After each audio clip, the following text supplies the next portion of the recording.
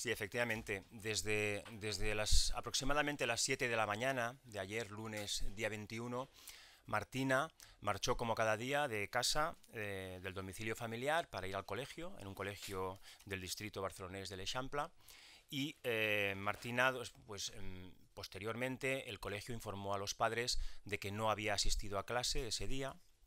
y como consecuencia de esta circunstancia, los padres a las 4 de la tarde de ayer lunes se dirigieron a la comisaría de Mossos de Escuadra del distrito barcelonés de l'Eixample para formalizar una denuncia por desaparición, atendiendo estas circunstancias. Bueno, efectivamente, esta mañana los padres han encontrado una carta de Martina en el buzón, en el buzón del domicilio, una carta eh, en el buzón del domicilio en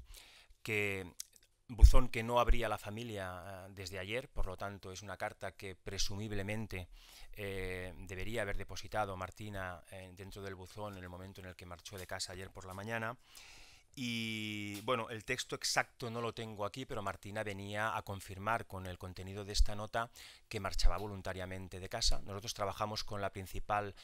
hipótesis, con todos los indicios que tenemos de que se trata de una desaparición voluntaria pero no por ello eh, estamos escatimando desde el primer momento todos los esfuerzos eh, posibles por localizar lo antes posible a Martina.